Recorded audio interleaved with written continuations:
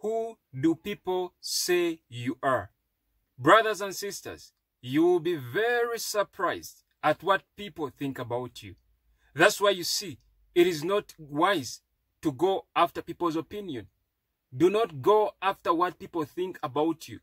Because those who you move with, those who think you know you, do not actually know who you really are. They have no clue of what God has placed in you. Some of you think your family knows who you are. Some of you think your friends, your best friend thinks uh, you are this or this, but they do not know. If God can show you what people think about you, some of you, you may never even want to associate yourselves with them. Because there are some people on the outside, they pretend as though they mean good for you. They pretend as though they give you a picture of what you want to see. And yet inside them, they think evil about you. They think all sorts of things about you. Jesus tested it. And uh, today's word is from the book of uh, Matthew chapter 16, verse 13 to 19. Matthew chapter 16, verse 13 to 19. And it reads, When Jesus came into uh, the region of Caesarea Philippi, he asked his disciples, saying, Who do men say that I, the Son of Man, am? So they said, Some say John the Baptist, some Elijah, and others Jeremiah or one of the prophets. He said to them, But who do you say that I am? Simon Peter answered and said, You are the Christ, the Son of the living God. Jesus answered and said to him, Blessed are you, Simon Bar Jonah, for flesh and blood has not revealed this to you, but my Father who is in heaven. And I also say to you that you are Peter, and on this rock I will build my church, and the gates of Hades shall not prevail against it. And I will give you the keys of the kingdom of heaven, and whatever you bind on earth will be bound in heaven, and whatever you loose on earth will be loosed in heaven. Glory to God. This is a similar situation. Jesus asked the people around him, including his disciples, that who do men say that I, the Son of Man, am? It is amazing at how many answers, at how many people started guessing of what Jesus was. Notice that these people moved with him. These people ate food with him, but they had no idea of who Jesus was. Some of you are staying in the same house with people. You are staying in an apartment. Some of you are working with different types of people. Or you go to the same church, but they do not know who you are. They can try to guess. They can try to figure out, but they will not know who you are. Unless it is the Spirit who has revealed to them. Unless it is God in heaven who reveals to them who you really are. And some of your enemies, when they know who you really are, they will start attacking you. They will start coming up against you. They will start saying all sorts of words to put you down. Now, the scripture says, um, so uh, when Jesus came into the region of Caesarea Philippi, he asked his disciples, saying, Who do men say that I, the Son of Man, am? So they said, Some say John the Baptist, some Elijah, others Jeremiah, or one of the prophets. Notice that all these answers were wrong. Jesus was not John the Baptist. Jesus was not uh, Elijah. Jesus was not Jeremiah. Jesus is the Son of God. Jesus Christ of Nazareth, who has come in the flesh, is the Son of God. All these people moved with him for all those years, but they had no idea of who he was.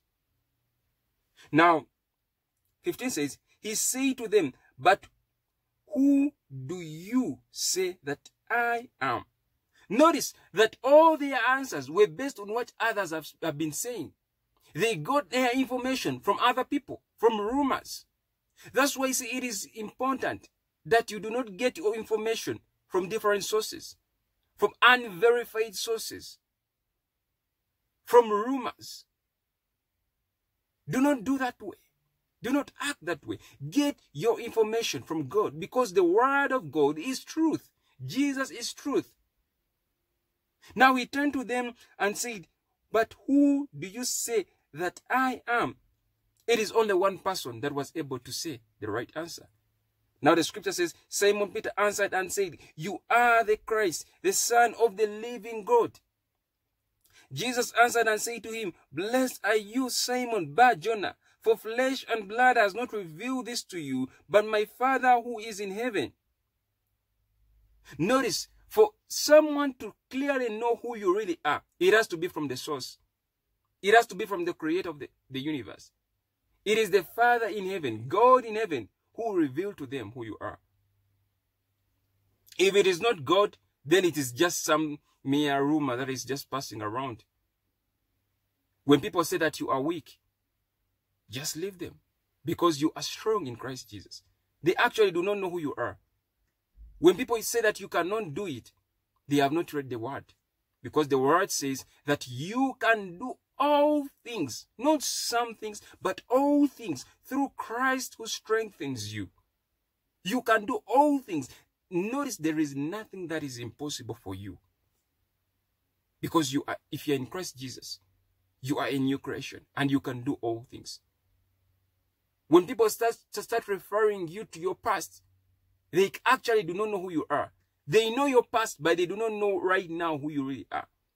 Because scripture says, for those, for those that are in Christ Jesus are a new creation. So you are a new creation.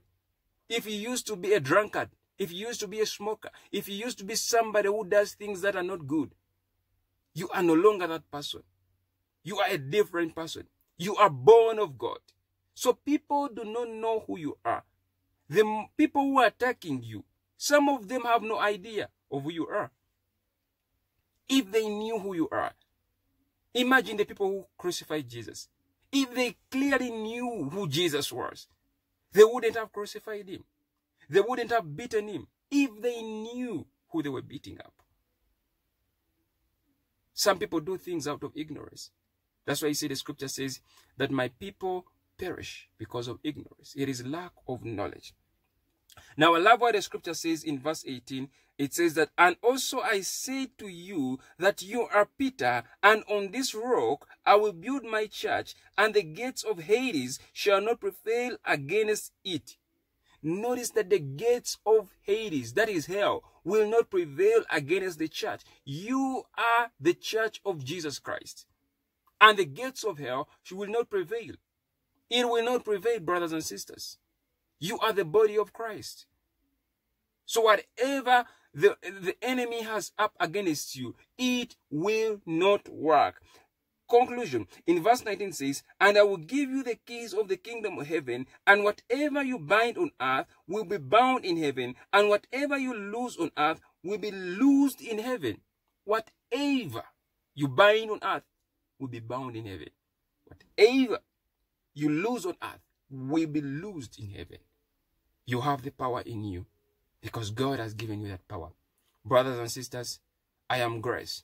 And if you have been blessed by this message and this ministry has been a blessing to you and you want to uh, be a blessing to this ministry through your giving, you can do so. And you can do so through my PayPal account, which is in the link in the description. Or you can find my PayPal account in my About section.